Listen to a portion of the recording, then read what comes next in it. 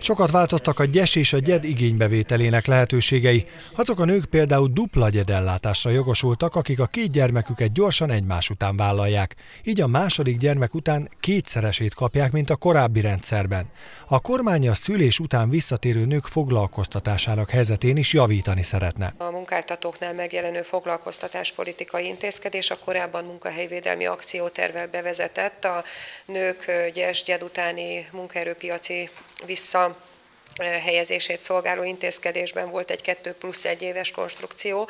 Két éven át az állam a szociális hozzájárulási adó 100%-át, a harmadik évben pedig a felét átvállalta a munkáltatóktól, ha gyesről, gyedről visszatérő édesanyát foglalkoztattak. Ez 2014. január 1-től 3 plusz 2 konstrukcióban valósul meg, tehát három évig 100%-ban, az utolsó kettő esztendőben pedig 50%-ban vállalja át a szociális hozzájárulási adót. A munkáltatókat is igyekszik igyekszik a kormány motiválni abban, hogy családanyákat foglalkoztassanak. A munkáltatók részére három gyereket vállaló pároknál, vagy édesanyáknál adókedvezményt biztosít a kormány. Már a mostani idei intézkedések között egy három éves időszakra, ez most két évvel még sikerült meghosszabbítani, tehát reméljük, hogy a munkáltatói oldalról is megvan a kellő motiváltság abban, hogy magasabb rendűnek, vagy éppen jobban megérőnek tekintsék azt, hogy az ilyen család családok édesanyáit is foglalkoztassák. A munkaerőpiacon egyéb kedvezményeket is igénybe vehetnek a családanyák,